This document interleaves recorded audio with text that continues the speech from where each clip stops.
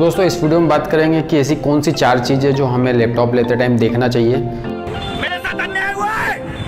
मेरे साथ अन्याय। सबसे पहली बात करें तो आपका प्रोसेसर राइजन 3 या उसके Core i5 के ऊपर हो तो बहुत अच्छी बात है। और साथ साथ में यदि मैं रैम की बात करूँ तो जो आठ जी है उससे ऊपर रैम मिलना चाहिए आपको। और लैपटॉप लेते टाइम ध्यान देना है, वो ये है कि आपका जो लैपटॉप है, वो अपग्रेडेबल हो ताकि आप फ्यूचर में उसे अपग्रेड कर सकें।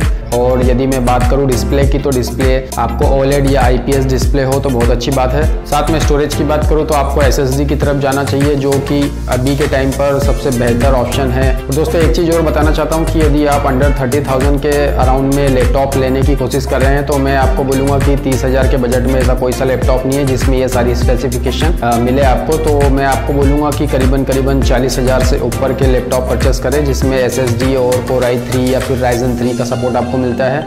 यदि वीडियो अच्छा लगे तो लाइक करें सब्सक्राइब करें। Thank you so much for watching मिलते हैं नेक्स्ट वीडियो में। जय हिंद बंद